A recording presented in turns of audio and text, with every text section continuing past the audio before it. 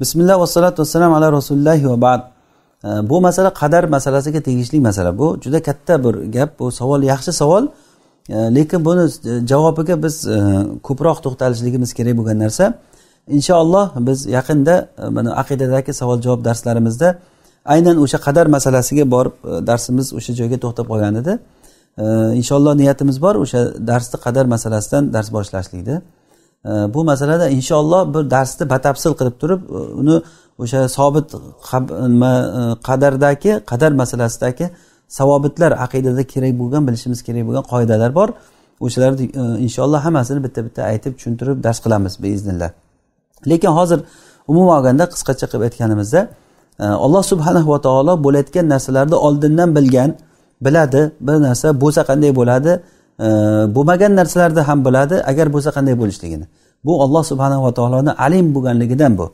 Ollohni bildi deganligi bu narsani masalan bir odam kofir bo'lsa o'shani kofir bo'lishligini olloh bilgan bo'lsa ollohni bilganligini buni kofir bo'lganligiga hech qanday e, vajh qilishligimiz buni bahona qilishligimiz o'tmaydi.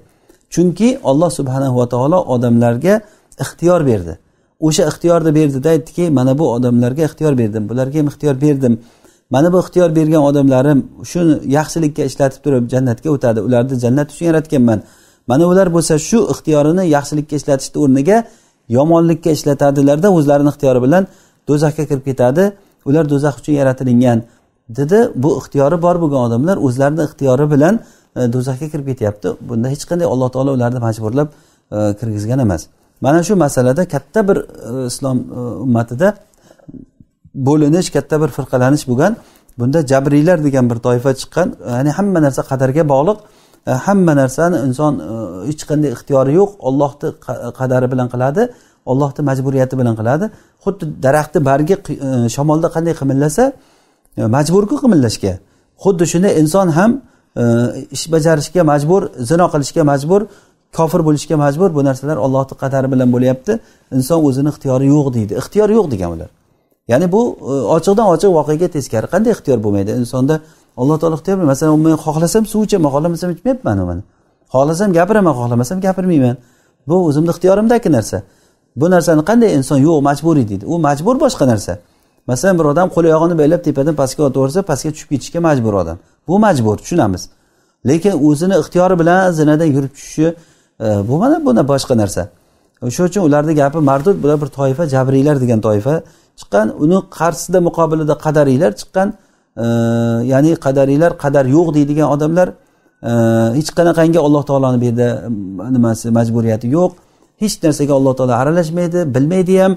E, inson o'zi amal qiladi alloh taolo insonni yaratdi qudrat berdi bo'ldi tashlab qo'ydi. Inson amal qiladi kim yaxshi amal qilsa jannatga kirgizadi yomon amal qilsa do'zaxga kirgizadi. Degan bu toifa oti qadariylar deydi. Ikkovi ikki tomonga qarab ketib qolgan. Jabariylar bu tomonga qarab ketgan qadariylar bu tomonga adashib ketgan ikkovini o'rtaga jamlasa ahli sunna val jamoa chiqadi. Ya'ni e, bu tomondagi sahiy dalillar bilan buni bularga bergan raddiyasi bilan buni bunga bergan raddiyasini qo'shsak e, o'shanda ahli sunna val jamoatni e, vasotiy bir aqidasi kelib chiqadi. E, demak bu masala uzoq masala. Ya'ni bundagi xulosa ya'ni e, bilishimiz kerak bo'lgan narsa shuki alloh subhanahu va taoloni irodasi xohishsiz hech narsa bo'lmaydi. Lekin shuni bilaylikki insonga alloh taolo ixtiyor berdi. Inson kim kofir bo'lgan bo'lsa o'zini ixtiyori bilan kofir bo'ladi. Kim agarda bir yomon ishlarni qilsa ixtiyori bilan qiladi.